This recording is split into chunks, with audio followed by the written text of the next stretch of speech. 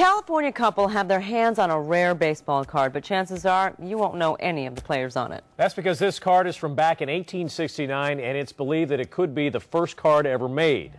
Jobin Paniker has the story. This is the first baseball card and one of the first trade cards that were ever, ever made. This goes beyond antique. The card is from 1869. There's only five of these that exist, and the one that I was handed is in the best condition of the five.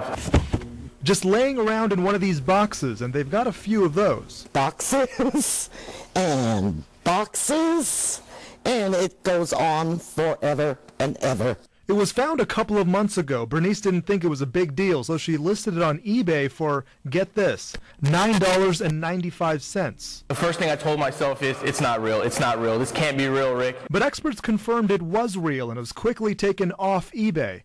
Back then, the card was used as an advertisement to purchase sports supplies.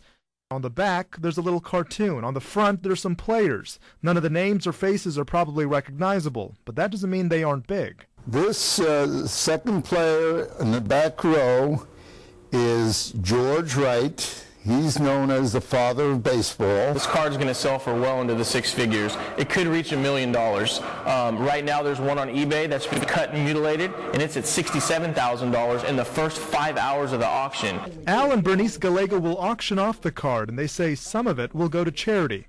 You know, this is the thing that every antique dealer dreams of finding that one item someday that uh, lives up to all the expectations. And this card probably does that and some more. All right, that was Jobin Paniker reporting the couple often buys entire concepts of storage sheds for a couple hundred bucks to see if there's a gem in the junk.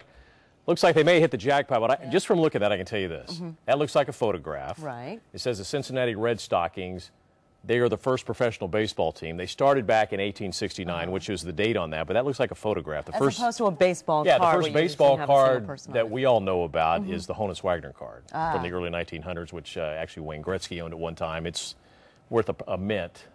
That looks like a photograph to me.